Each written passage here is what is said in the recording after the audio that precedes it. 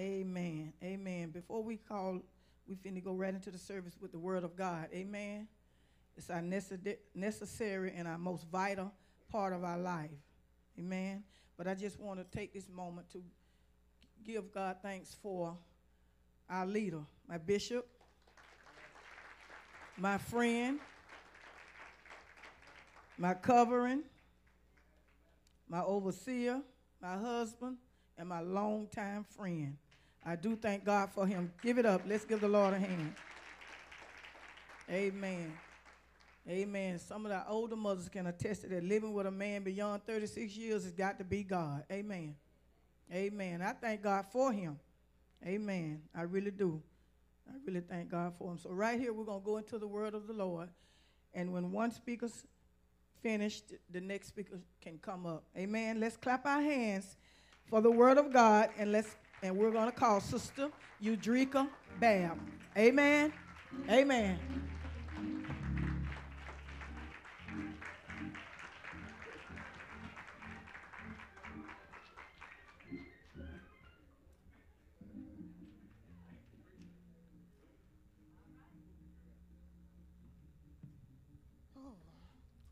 Praise the Lord, everybody. I am so nervous. So I'm going to just pray right now and kill these nerves because they are here. Could you bow your heads with me? Father God, in the name of Jesus, Lord, I come before you as humbly as I know how, God. I'm asking for strength. God, I'm asking that I decrease and you increase, God. I pray that I would say only the things that you would have me to say. God, I pray that people will be encouraged. I pray that people's faith will be fed in the midst of the message, God. I pray that your will be done. In Jesus' name I pray. Amen. Giving honor to my bishop and first lady, um, to all the ministers and their wives, the deacons and their wives, my mother, grandma in her absence, and all the other mothers, to my husband. I love you. Thank you for loving me. Bishop have gave me a whole nother insight on that thing, love. Don't be telling me you love me. Show me. Which he does. He shows me. Ain't nothing too good for me. And I thank God for him. Not a perfect man, but a willing man. And I thank God for what he's doing in his life. And I can't wait to see you in your next level of glory. And I would like to say happy 10th birthday to my babies my miracle babies. God have shown himself mighty in their lives, and this is only the beginning. And I can't wait to see y'all in y'all next level either. Whew. I'm going to be reading from Job, the first chapter. Um, I'm going to be speaking about faith today. And every time I get up here, I try to pretty much testify or something I, I went through or something I'm going through or something I have experienced because you can't really tell a person that God can and will unless you have experienced him doing that. And that's what I want to do today. I want to pretty much elaborate on the word and put it in how God brought me out as well as Job. I will be reading from Job 1, starting at the sixth verse. Now there was a day when the sons of God came to present themselves before the Lord, and Satan also came among them. And the Lord said to Satan, Where were you, where do you come from? So Satan answered the Lord and said, From going to and fro on the earth, and from walking back and forth on it. Then the Lord said to Satan, Have you considered my servant Job? And there is none like him on the earth, a blameless and upright man one who fears God and shuns evil. Me personally, I know God considered me to the devil because my relationship with him I took so vital at a young age. I didn't want to scratch the fence. I didn't want a club or drink. I didn't want to violate my body because I knew my body was a temple. And I knew I had a special calling on my life from a little girl because my mama always told me, not that I just spiritually knew it, but my mama always told me, and things she tell me, I always took to heart. And she always told me, You special. You got a calling on your life. You a woman of God. And I took my body and I took my relationship such as, and I did not want a club. I didn't club. I didn't drink. I didn't have sex with, with no man but my husband. I saved myself for him. And I knew God knew my faith was just like Job. And when the devil was walking and looking for some young people to attack, God called Drake a name. I know he did. But I'm going to read on down a little more. And so Satan answered, ninth verse. So Satan answered the Lord and said, Does Job fear God for nothing? Have you not made a hedge around him and his household and around all that he has on every side? You have blessed him the work of hands, and his possessions have increased in the land. But now stretch out your hand and touch all he has, and he will surely curse you to your face. And the Lord said to Satan, Behold, all that he has is in the power. Only do not lay a hand on his soul, on this on his person. So Satan went out and he pre- presence went out of the presence of the Lord that's another thing I want to elaborate on with me. Like, ever since I said I do and got married and left home, God have blessed me. I ain't never had to go back home. I always, He always made a way for me and my family. We always had lights. We always had shelter, food, clothes, and I believe again the devil was like, "You giving her everything. She gonna serve you because you got a hedge around her. You ain't allowing them to touch her. Well, he said, just try Touch her, try and see what she do. I'm going to read that a little more. And now on 13th verse, now there was a day when the sons and daughters were eating and drinking wine in their oldest brother's house. And the messenger came, and Job said, The oxen were plowing and the donkeys feeding beside them. When the Sabeans raided them and looked, took them away. Indeed, they have killed the servants with the edge of the sword, and I alone have escaped to all of you. While he was still speaking, another one also came and said, The fire of God fell from heaven and burned up the sheep and the servants and consumed them, and I alone have escaped to tell you. While he was still speaking, another also came, wow, and said, The Chaldeans formed three bands raided the camels, and took them away, yes, and killed the servants, and the edge of the sword, and I alone have escaped to tell you. While he was still speaking, another one also came and said, Your sons and daughters were eating and drinking wine in their oldest brother's house, and suddenly a great wind came from across the wilderness and sh- struck the four corners of the house, and it fell on the young people, and they were dead and I alone have escaped to tell you. Then Job arose, tore his robe, and shaved his head, and he fell to the ground and worshipped and said, Naked I came from my mother's womb, and naked I shall return. There the Lord gave, and the Lord has taken away. Blessed be the name of the Lord. now I'm going to speak on some life things. I was reading Job, what God had dropped in my spirit. I had been ever since 2014 came in, have been battling. I mean, to where God knows where my strength is at. And when you trying to mess with my faith, I know it's time for me to turn up or just simply turn out. Because if I know if the devil would have took my faith, he had me. Ain't nothing else that could conquer the enemy but my faith and praise. And if he took my faith, I knew my praise was gone as well. I'm looking at everything going on. The night 2014 came in, my I was just distraught. From that day on, just something every day was happening, happening. After Christmas break, my husband went to work. They said, "Oh, his job over." My baby girl, whew, she's showing out. School calling me. Never before. I'm like, Lord, what is going on? Eviction notice coming on the door. I'm like, okay, I'm reading Job, all this stuff with the happening to Job. God said, now look at that girl.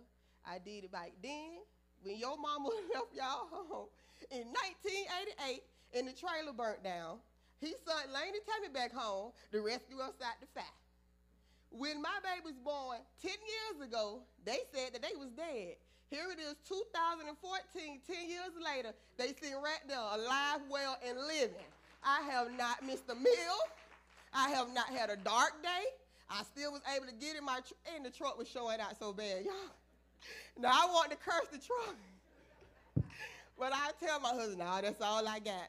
I want to push it in the canal, but I was still holding on to my faith, holding on to my faith. And I'm reading all this stuff Job went through. I'm like, girl, is you crazy? You ain't lost no child. You ain't lost no meal. Yeah, your husband may lost the job, but he got hired to another job three days later, and then they call him back and say, oh, Mr. Bell, we trying to figure you out a salary because the salary that they had, he was too qualified to even receive that salary. So I just want to just tell y'all, if y'all trust God and stand on his word, God is so faithful. And I know that the devil didn't do none of that stuff because he just could. God allowed it. God wasn't doing it, but he was allowing it because he knew that Peter, I mean, he knew that Job's faith was where it needed to be to sustain anything that came forth. Because Peter, remember, God had to pray for Peter that his faith failed him not. But he didn't have to pray for Job. He considered Job because he knew Job could stand all the trials and everything that was going to come his way. And I just want to be so much like Job today. I don't want nothing, nothing that's coming that ever waver my faith because I know I am mighty strong with God. And can't nothing knock me, can't nothing destroy me, can't nothing devour me because I have a purpose and a plan that God have destined in my life. And I know that Jeremiah 29 11, he knows the thoughts and the plans he had before a Drinker, and he gonna finish them. Because if he wasn't, he wouldn't have never started it. And I am so encouraged today, and I am so not where I was January the 1st, 2014, on January the 26th, 2014. And that was the last that he would ever see me in doubt my faith, because if I have never had nothing else in this life, Drinker have had faith. I have been through so much in this little 35 years that people look at me and be like, how you smiling?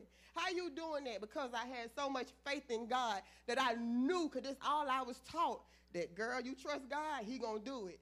You do this, he gonna do it. And he have never, never forsaken me in that. And I am so proud to be his daughter on this day, and I am so encouraged. I didn't even want to speak. I was just so, I don't know what was going on, but I remember the things Bishop had been preaching and teaching, and he was even in praise and worship, and he was like, the devil trying stuff he ain't never tried because he know you on the brink of something. He know his time is about up with you. And the devil was coming at me with stuff I knew wasn't me. I'm like, what is going on?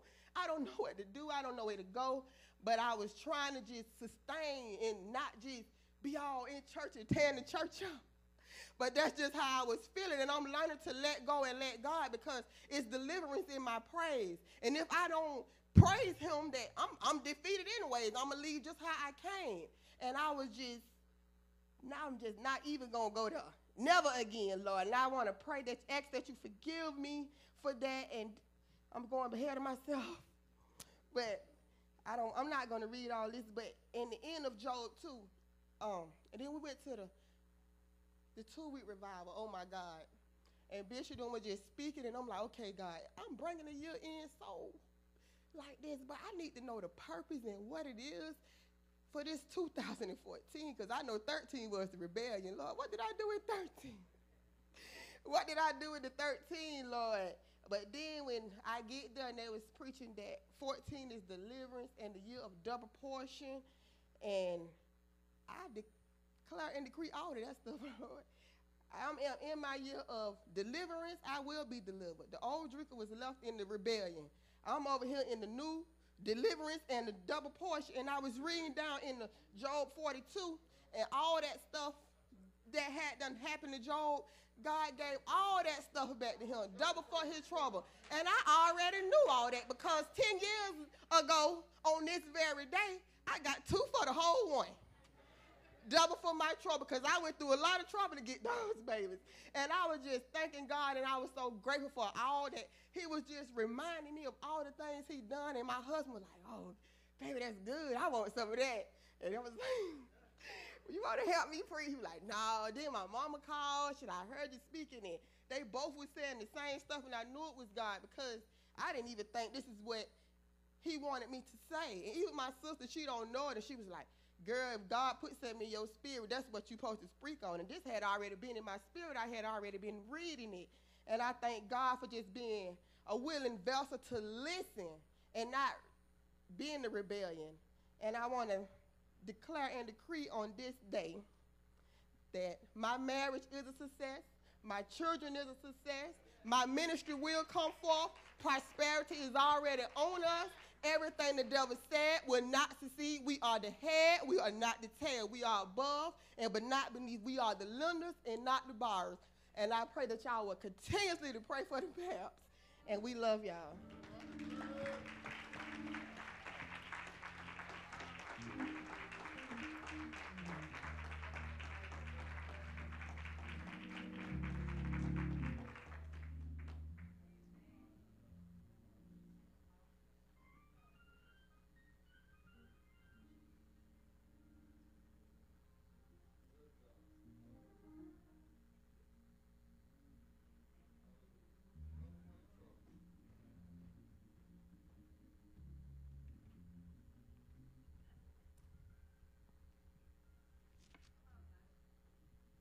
Praise the Lord, everyone. I want to give honor to Christ, who's the head of my life. I want to give honor to my spiritual parents, and I continue to say the best spiritual parents I could ever have to Bishop Robert L. Banks Jr. and his lovely wife, First Lady Karen Banks. And I want to give honor to all of the deacons and their wives, and the ministers and their wives, and of course to my husband. Thank you just for always being there and for encouraging me. Thank you. And I want to give um, honor to my father in law and his lovely wife and their granddaughter for being here, and to everyone in their respected places. Drake, I'm nervous too, Drake, but I know that God has not given us a spirit of fear, but of power, love, and a sound mind. And I'm going to speak Bishop has been preaching about faith. Trust God no matter what. And Drake just came and spoke about one of the most faithful persons in the Bible, which was Job. And I'm going to speak about doubt. Because doubt tends to creep in into your lives, and I know it has because it was, it's, it's, for the past couple months, it's been creeping in my life. And doubt is the opposite of faith. If we can't, without faith, we can't please God. So if we don't have faith, we're not going to be able to please God. And, and doubt, doubt means to feel uncertain about someone or something and not to have confidence in that something or someone. And that's what I that's what I was experiencing in the past couple months. Doubt. I, I was letting it come in. And I'm gonna, I'm gonna read from Luke chapter 1, starting from verse 8. And the reason why I chose this story is because I was reading this, I read this story, and me and my husband went back and forth in December because I like to read this Luke when Christmas is approaching. And then it came back in my spirit when I heard Bishop on Tuesday. He touched on it just a little. And I was like, okay, Anna, we'll go back to it. And, and I did. I went back to it, and I was like, okay, I'm going to read this story again. And when I read it, I was glad I read it again because I got more insight on it than when I first initially read it. So I'll start from verse 8. And this is the story, let me, let me tell you, this is the story of Zechariah and his wife Elizabeth. And they were very old and they didn't have any children. Zechariah was bar- um, Zechar- Elizabeth was barren. She, she didn't have any kids. So this is Zechariah at an old age, and this is when the angel appears to him. And it says, Once when Zechariah's division was on duty, and he was serving as priest before God. He was chosen by Lot, according to the customs of priesthood, to go into the temple of the Lord and burn incense. And when the time for the burning of the incense came, all the assembled worshippers were praying outside. Then the angel of the Lord appeared to him, standing at the right side of the altar. When Zechariah saw him, he was startled and gripped with fear. And the angel said to him, Do not be afraid. Zechariah, Your prayer has been heard. Your wife Elizabeth will bear you a son, and you are to give him the name John. He will be a joy and a delight to you, and many will rejoice because of his birth. For he will be great in the sight of the Lord. He is never to take wine or other fermented drink. He will be filled with the Holy Spirit even from birth. Many people of Israel will bring back the Lord, their God. And he will go forth before the Lord in the spirit and the power of Elijah to turn the hearts of the fathers to the children and the disobedient to the wisdom of the righteous, to make ready for people to prepare for the Lord. This is Zechariah. Zechariah asked the angels, How can I be sure of this? That's doubt. I am an old man. My wife is well along in years. The angel replied, I am Gabriel. I stand in the presence of God, and I have been sent to speak to you and tell you this good news. And you will be silent and not able to speak until this day, until this happens, because you did not believe in my words, which will come true at their proper time. Meanwhile, when the people were waiting for Zechariah and wondering why he stayed so long in the temple, and, and when he came out to speak to, to them, they realized he had seen a vision in the temple, and he kept him from making signs to them, and they, they realized he was unable to speak. I'm to stop there. And two things that I want to focus on that I that I and I know it was God. God revealed to me was in this particular story is prayer and doubt. And prayer when I read this the first time in December, I didn't see it like that. But when I went and read it again after Tuesday, it just it just was there plain. It was plain like this man Zechariah was inside the temple and he was there lighting incense, and everyone else was outside praying as he was burning the incense. And that's where the angel appeared to him alone. And it said, Zechariah, the angel's like, Do not be afraid. Your prayer has been heard. Your wife will bear you a son. This man was not inside a temple at an old age praying for a son. This man had and, and this man had been praying for a son at an earlier stage of his life when he was young. The Bible tells us he was very old, and I'm quite sure his wife was praying for a son as well at a younger age, not at the old age that they were in. And this made me realize, like, oh my God, this man wasn't in there praying for no son, but yet you came down, the angel came down and said, Your prayer has been heard. As Christians, we often pray, pray, pray, pray, and because we don't get an instant result, an instant answer, we begin to doubt God. And that's what happened here in Zechariah. You know, we, we, we don't pray and, and we pray and we're like, okay, why God couldn't do it here? Why God didn't do it this way? Why God couldn't do it here? What's up? What's going on? And this was what's going on with Zechariah when, when the angel appeared to him. I'm going to paraphrase this, this story to you guys. This, I'm just going to paraphrase it how I think it went down. Zechariah's like, looking at the angel, he's like, Your wife's going to bear you a son. And he's like, What you mean? What you mean? Bear me a, my wife's going to bear, I'm, I'm an old man. I'm old. I'm old and dusty. I can't do to do. And my wife, she old too. She's an old rag. Where's mama at? Mama's not here? Mama, mama gave me a new word, y'all. She's a, she ain't a, what, what's the word she said? She said, a spring chicken. I never heard that word a day in my life. I was like, what? Mama, what is that? I had to tell my husband, like, what is that? What is a spring chicken? She was no spring chicken. She wasn't young any longer. You know, they, they couldn't produce. They were looking at their situation where they were at right there. Zechariah was looking at that, like his situation, like, I'm old. I can't do this. He started thinking with his own logical mindset of the situation that he was going through right now, presently. Maybe back then when he was praying for a son, he would have been like, okay, yes, I'm ready. Yes, I want my son. But right here, he was old. So he's looking at the angel like, what you mean I'm going to have a son? What you mean? And the angel just is agitated and upset. And this is where, because he doubted, this is where the angel's like, yo, do you know who I am? I'm Gabriel. I'm the angel that stands in the presence of the Lord. The Lord Himself sent me to tell you this news. The Lord Himself. And because you do not believe, I will silence you. You will not be able to speak. You will not be able to utter a word. Not una palabra, no hablo inglés. He will not be able to speak not nothing. And that's what happened because he doubted God. Because he doubted God.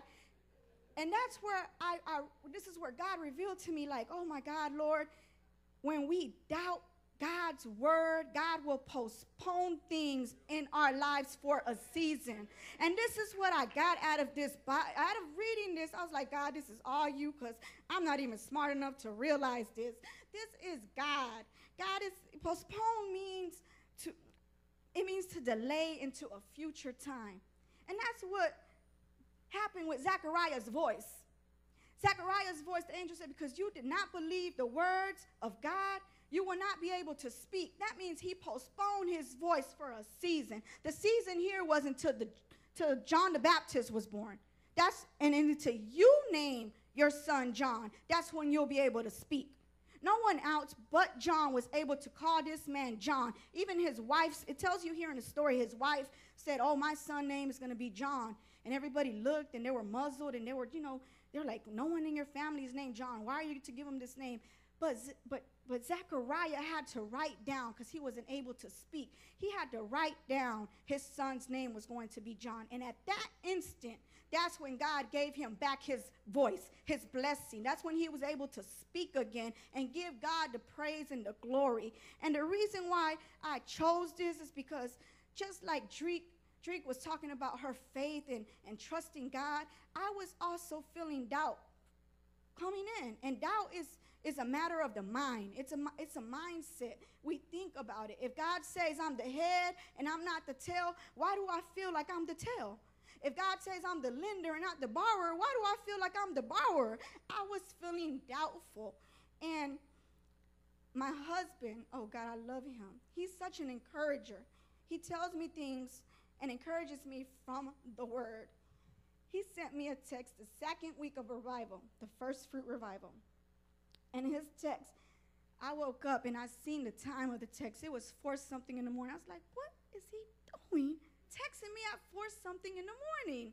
That's when he wakes up. He wakes up and he, he gives himself to the Lord. And I know it was God. I know it was God. He sent me a text. I'm going to read y'all what he texts me. He, he gets all deep, y'all. He said, My text read, God said. But it was but it did lift my spirit. It said, God said, I got you. Don't stress about it. He will make a way, and we will have more than enough. It's already done. That lifted my spirit, and he doesn't know how much it lifted my spirit. It lifted my spirit because I was feeling weak. I was feeling weary. I was feeling like, God, it's just not, it's not going on. Are you listening to my prayers? Are you listening to what I'm what I'm asking? And it's because I didn't get instant answers. I didn't get instant results. I wasn't, you know, I, I was feeling down. I was really feeling down. And I just, that text just made me realize that was from God when He said, I got you. He was saying, Trust me. Trust me in your marriage. I got you. Trust me with your children. I got you. Trust me in your finances. I got you. Trust me in your ministry. I got you. And I just came, I just want to encourage people who are feeling down, who are feeling weary and well doing. Trust God, He's got you. God is not a man that he shall lie, nor the son of man that he shall change his mind. If he said it, it will be done. If he promised it, it will be fulfilled. And I just came here to encourage anyone who's feeling doubtful to trust the Lord. Amen.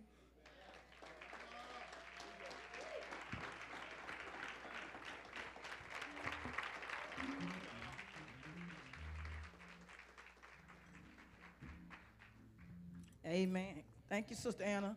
Thank you, Sister Bab and Sister Banks. Let's give them another hand. Amen. One spoke of faith, believing God. One spoke of doubt, which is from the devil. Amen. Now, take an inventory of yourself. Which one are you?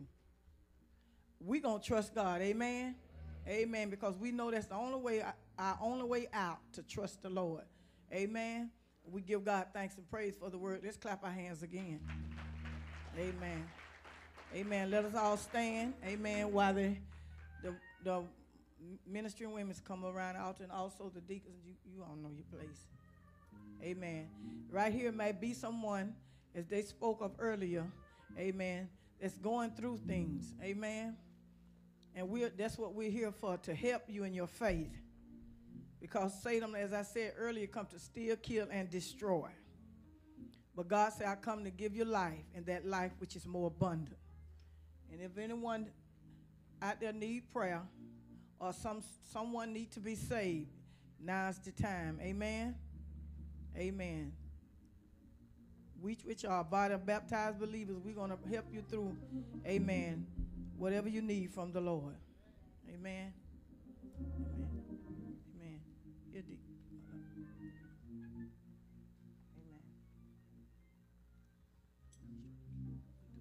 Amen. Whatever the Lord has laid on your heart for prayer, just come. Amen. And believe God. Amen. Let us all pray out there. Amen. Let's keep our mind on the Lord. Amen. Thank you, Jesus.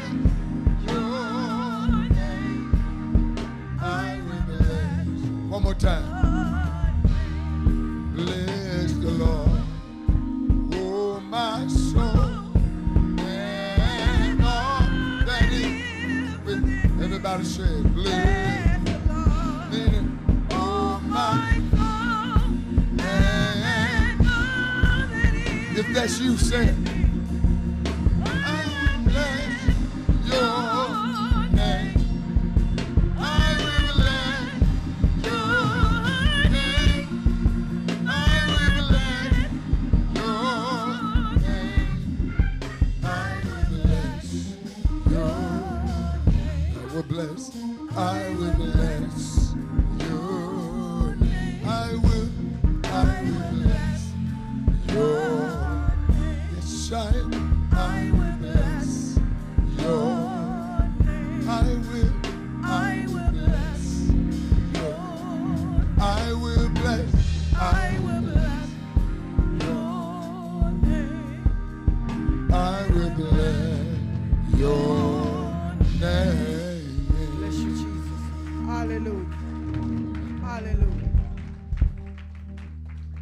You can remain on your feet about let you go home. And thank God for everyone that come out today. We really do God give God praises for you.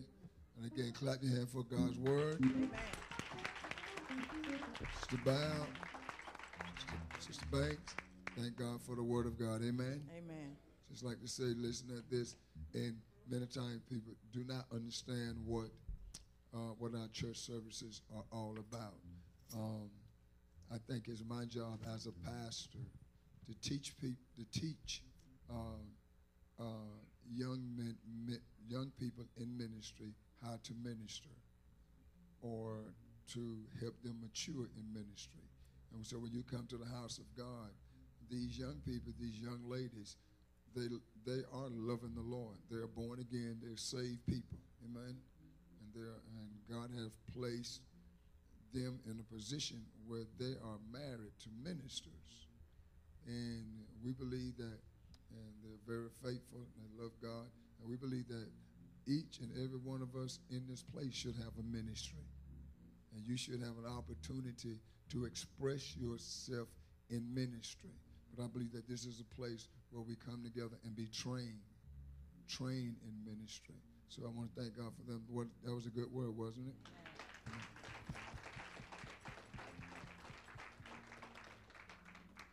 And in, in the midst of that, one talked about faith and one talked about doubt. Let me say this to you. Anytime where there is faith, doubt is going to be present. You overcome faith, you overcome doubt by believing God, no matter what. And so you're not in a strange place when, when doubts start coming in your mind, and all, all you all you need is a word from God. And that's what Anna said that uh, Minister Bubba sent her a word. All she needed was a and that's why it's so important that we, as the people of God, stay in the house of God. Uh, faith comes by hearing, hearing by the Word of God. The Bible said, We walk by faith and not by sight. The just shall live by. How, you, you live more than one day, don't you? You live when? Every day, don't you? You live every day. So if you live every day, that means you need a word. Amen. You need a word every day. Amen. So as a believer, if you're gonna, if, as a believer, you're born again, you're saved. As a believer, amen. You get your life from believing God's word. Amen. So when we come into the house of God, then this is what it's for. You know, some people just come to, to the house of God and they come to the house of God out of duty. And I mean, I got duty, but but I come to the house of God out of purpose. I need to know. I need to know how to represent God as best as I can in this earth. So when we come to the house of God like this, what we're doing, we're being taught from the scripture. We're being taught how to represent God in a better way. Amen. I hope everybody's saved. Everybody saved? Let me see your hand if you're saved.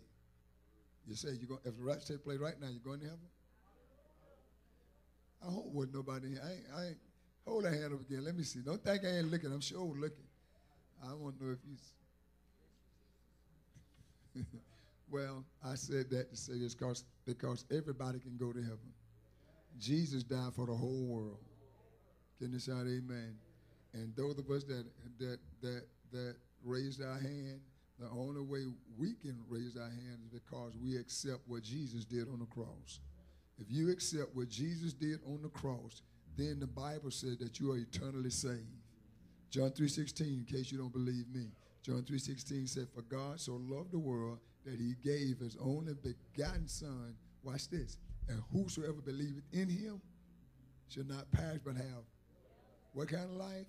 Everlasting life. 317 says, God sent his son into the world not to condemn the world, but the world through him might be saved.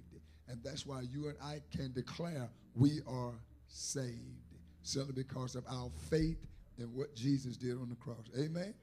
Amen. Save people. Amen. Amen. God bless you. So if you are not saved, please, you do not have to leave out this building without being saved. Amen. And it's, it is so much treasure in salvation. It is so much treasure. It's not just a, a mental belief. Well, I believe that Jesus died for my sin, and that's it. Mm-mm, mm-mm. It's it's far more than that. As you seek after God in your in your um, in your new birth experience, as you seek after God, then God will reveal Himself more and more to you. Amen. I don't know if everybody feel like me, but I'm glad I'm saved. and, and, I'm glad, and I'm glad, I'm glad I got saved when I was young. Hey, I don't care when you Amen. get it, but get it. Amen. He saved me rest just in time. If God hadn't saved me when He saved me, oh my God, oh my gosh, I don't know where I would have been or what I've been doing. But I, I believe that He saved me right in time. And if you get saved today, I've got news for you. He's, he, he's going to save you just in time. Amen? Amen? So you don't have to leave out here not being saved. Thank God for you. I pray the favor and the grace of the Lord. Clap your hand for my wife, please. Sister Bless you. And, and, and all the speakers, Drake, Anna, God bless you. And all the special ministries, thank y'all. God bless you. Everybody in their respective place. Thank God for you. We love it on you in Jesus' name. Amen. Thank God for you. May the favor of God rest upon you. Back the hands Sister Banks. God bless Amen. You. Amen. Let's clap our hands for our musicians. Amen. Amen. Amen.